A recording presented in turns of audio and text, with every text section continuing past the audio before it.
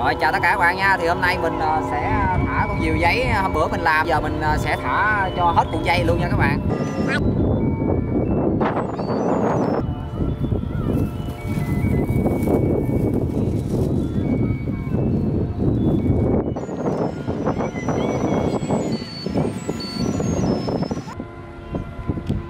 Đó, con diều của mình nó đang ở trển là mình mới thả ờ, chưa được ờ, nửa cuộn dây nữa nha các bạn. Nhưng mà nó đang bị ờ, cặp một cái cánh vô á. Mình sợ bị đảo nhưng mà giờ lỡ rồi, giờ mình thả luôn nha các bạn. Thả cho nó ra luôn, bây giờ mình thả hết dây luôn nè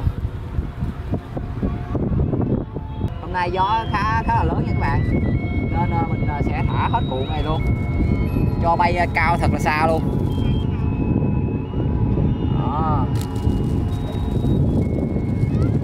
Hết vụ này là bay rồi, chắc cũng là xa lắm nha các bạn. Chiều mình giờ bay xa lắm rồi nha. Rồi đó, gió còn rất là mạnh. Đó, nhiều mình bay cao nữa các bạn thấy chưa? Mình thả thêm dây hết luôn.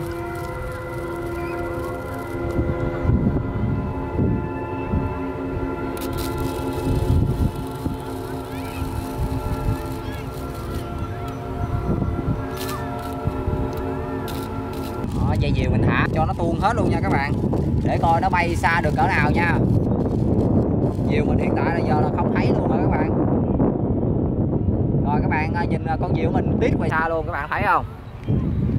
Đó, mút ngoài xa luôn. Xa chưa? Đó, quá xa luôn không các bạn?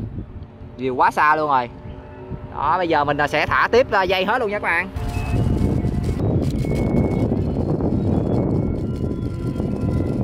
mình sẽ thả con diều này cho nó bay cao nhất luôn. Thì hiện tại mình thả đã được hơn nửa cuộn dây này rồi nha các bạn. Con diều mình nó bay uh, cao tít ở trên ờ, kia các bạn thấy không? Quá xa luôn rồi. Không biết cái máy quay có quay tới được nữa không nha. Đó. Rồi bây giờ mình sẽ tiếp tục thả tiếp cái cuộn dây này ra nha các bạn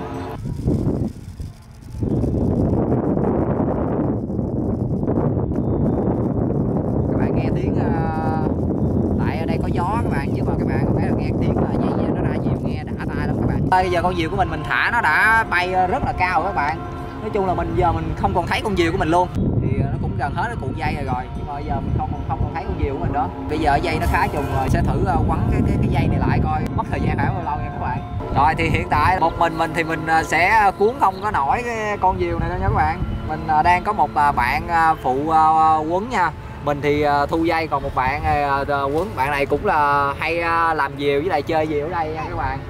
Thì thả diều giờ phải cần có người trợ giúp mới thu được diều này. Giờ, dây giờ quá dài rồi. Giờ trời mà sắp tối rồi mà mình đứng quấn một mình là chắc hơi bị lâu đó nha. Đó, hôm nay gió khá là êm và mạnh.